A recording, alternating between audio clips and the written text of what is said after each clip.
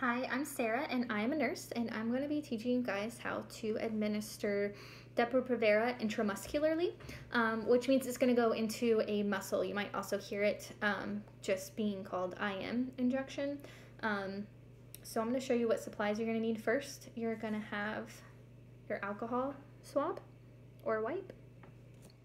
You're going to need a needle. Um, I'm using a 23 gauge 1 inch needle here. You're gonna need a syringe. I am using a three milliliter syringe. You're gonna need your medicine and of course a band-aid. Now a good rule of thumb is I have some crazy hair and I have short bits in the front that sometimes get in my face and I'm prone to touch my hair and move it out of the way. But you want to keep your hands clean during this whole process. So I would recommend is that you go ahead and pull it up. if you have super long hair, you can pull it up completely, but I just need to get my bangs out of my face. So I'm just gonna pull it up like that. And then I'm gonna go ahead and hand sanitize. I did wash my hands um, properly before this video, but I thought moving you guys to watch me wash my hands would just be a really long drawn out process. So I have some hand sanitizer here. I'm just gonna spray. And I'm gonna make sure that I get everywhere to make sure that my hands are still clean. And don't worry, if you do end up touching something, you can always re-hand sanitize or re-wash your hands. Now, I'm going to show you where you can put this. Um, there's two places typically that you can do at home for IM injections. One is the typical one. It's your shoulder. Um, we use this a lot in the clinic when we're administering the Depo shots. And then also, it's what you mostly know is for the flu shots or any um, vaccines, they kind of go right up in here, just go straight in into this muscle here. Um, it's should be noted that you might feel some soreness um, because again it's going into a muscle so i would pick a side that you don't necessarily want to um, that you don't necessarily sleep on or if you're left first right um, maybe do the one that you're not dominant on um, so that way it doesn't hurt every time you move your arm um, or you can do your thigh. Um, I do have two band-aids on my thigh, so ignore that. I'm filming a couple of these videos today, and so these are previous pokes. Um, so on your thigh, you have two muscles um, that kind of, let me put you back down, sorry. They kind of go like this over your thigh. Um, so to make sure that you get a muscle, what I usually like to recommend is you're gonna wanna do the top, but you want to go either this way or this way on the top. Now, I don't know about you, but the inner thigh sounds definitely more sensitive and more painful. So I would recommend the outer portion of your thigh. So go top to the out um, side. And a good rule of thumb is to use your hand put it over the area, and that's what you want to clean. You want to clean that entire area where your hand is kind of at, so that way you know that no matter where you're putting that needle in that general area, you got a clean spot. Um, because if you just clean a tiny little spot, like a tiny little wipe, you might come back to that area and miss it, and then you administered the medicine in a dirty spot, and no one wants that. Um, so like I said, I would probably put the hand here and clean this whole area and administer it kind of here on the top, but kind of on the outer portion. Now I know I just touched a couple of things. I know I scratched my face, I touched my thigh with that whole conversation, and touched my thumb. So if you do something like that, like I said, no big deal, just re-hand sanitize.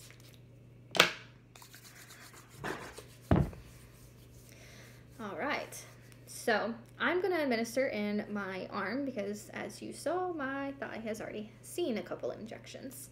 Um, but it might be difficult for you to kind of get into this area, so the thigh is a good option as well. So you're going to get your alcohol swab. You're going to make sure that your shirt is up um, so it doesn't fall back down. Again, if it does fall down, you can just re-clean the area just like you re-clean your hands. And what I usually do is I start in the center and I work my way out in a circular motion, kind of like a spiral. because if you ever have somebody go like this, you're gonna possibly be getting the dirtiness. Just all you're really doing is spreading the dirtiness because you're touching dirty, going back over clean, and you're just dragging the the dirt and the bacteria around. But if you do the spiral method, it's you're touching dirty and you're cleaning it and you're just continuously getting to dirty and you're never going back over the clean section. So now that I'm doing that, I'm gonna let that dry because alcohol in a wound stings and once you use a needle to inject this medicine, it is then a wound and it's never fun. You're already gonna have to poke yourself. You don't want the burning of the alcohol to happen as well. Um, so you can go ahead and now take your syringe and your needle and open them. I'm gonna start with my syringe here so I can show you some things on that. Um, first, I like to show you guys, take this out. You can see that my, pull it down a little bit more. There we go. Like I said, I have a three mil syringe, so that's as far as it goes. The bigger lines, that is a half a milliliter, one, one and a half, two, two and a half, and three milliliter. And then you have these little ones. Those are 0.1. So if you look at this landmark, that is a half a milliliter or 0.5. So then this little one's 0.4, that one's 0.3, 0.2, 0.1, and then this other big one up here at the top, that's zero. So if you ever have to use the point system or whatever, just know that that is zero, not one.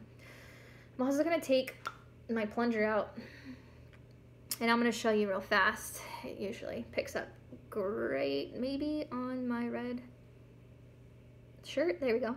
Um, you can see that it has kind of this lump on it. So when you're put, lining it up with these lines, what you're actually wanting to line up is this edge, the flat edge, not this top hump. Again, the flat edge. So I'm gonna go ahead and stick that back in there. And when you're and then when you're holding this syringe, make sure you don't touch this whole section right up in here especially this little bit that's sticking out because that's what connects to your needle. And if you do touch it that dirtiness and bacteria and everything can then get into the needle get into the medicine get into you and then you can get an infection. Now when opening your needle again they all kind of open like this how they split. And you just want to make sure that you don't touch this end because that end is what's going to connect to your syringe. They're true there's not a super wrong way to open this because you can see here this end doesn't really peel away that much. This end peeled away very easily. So it, the way that you open it is pretty self-explanatory when you have it in front of your face and not in the camera. Um, so you see that my syringe has these two circles. My needle has this one circle. So the needle is going to go in between the two circles. And then you're just going to screw that on there and then you know that it's connected. Now yours may come already connected. That's fine. That means that step is already done for you. You're gonna go ahead and sit this down now. And you're gonna take your vial. Um, yours is probably a different color. This is not actually Depo, it's just normal saline, so it's clear. Um, but Depo needs to be reconstituted, so you need to shake it up a little bit, so that way it mixes it all together. Okay, and then yours also comes with this cap.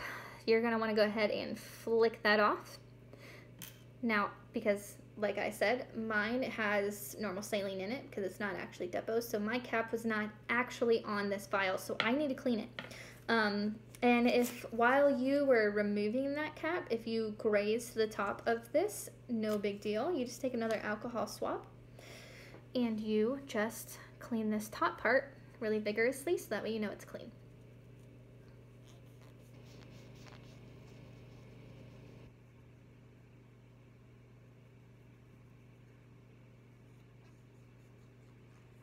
Okay. Now my needle has this um, recapping system. You're just going to want to move this down so that way it's not in the way of your needle when you're going to go um, suck up the fluid. Um, when you are doing this, you're gonna want to bring up air. Um, so IM Depo, ha it's one milliliter of fluid. So you're gonna wanna bring up one milliliter of air. So you can see here, there's my one. It is for this big line. So I'm going to line it up to this flat part, not the bump. And then there you go. So the reason why you're sucking up air is because then that causes pressure in this vial and it makes it way easier to then um, bring the fluid up into this needle. So you're gonna go ahead and uncap your needle, get your vial, you're gonna stick the needle in this um, dark gray center. The rest of it is hard, and so you wouldn't be able to poke the needle through that anyways. Um, it doesn't have to be a smack dab in the middle.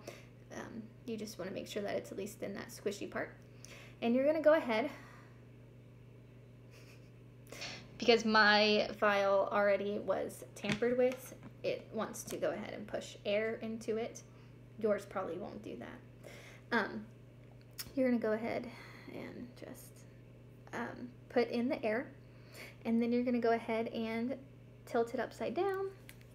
And you can see how even before, before I tilted it upside down, it wanted to just continue to alleviate the pressure that's in this vial. Um, and that's what makes it so easy. Like I didn't have to pull this plunger up at all. I just did it automatically. And that's why we have you go ahead and pull up the air beforehand. However, if you look, you can see my needle is outside of that fluid and so it's only pulling up air. It's not actually pulling up any of the medicine. So if that happens, no big deal. Just again, put all that back in there, bring your needle down. And what I usually like to do is I tilt the vial right here. So that way when I'm getting down to the very last drop of fluid, it puddles down here at the bottom. And then I, instead of leaving it, leaving my needle straight like this, I'll go ahead and tilt it like that. So that way my needle is, all, is also all the way down here. And that way I know I'm getting every last drop. So you can go ahead and draw that up.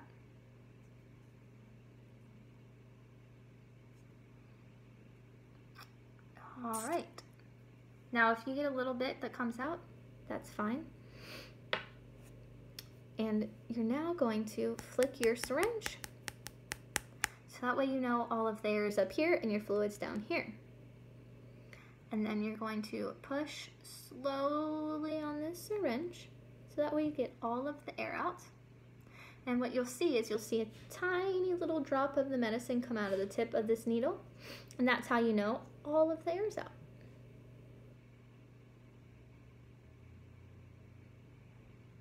There you go. Now, I'm going to go ahead and recap my needle.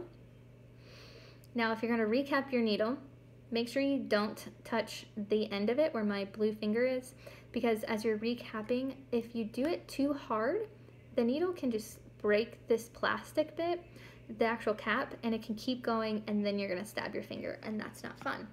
Now I'm recapping this because I want to open my band-aid so that way I know when I'm done my band-aid's ready to go for me. So now I just have to take this part off and then slap it on my deltoid.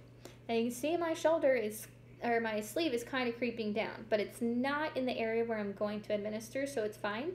But if it did start to cover your shoulder, you just take another alcohol swab again, clean it, and let it dry.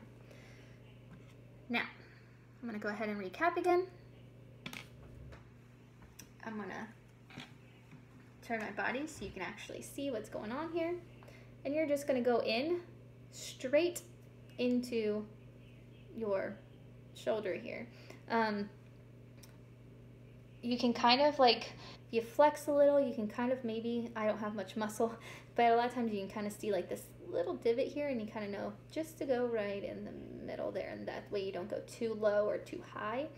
I have it easy. I have this fun little freckle and I just kind of go a little above that.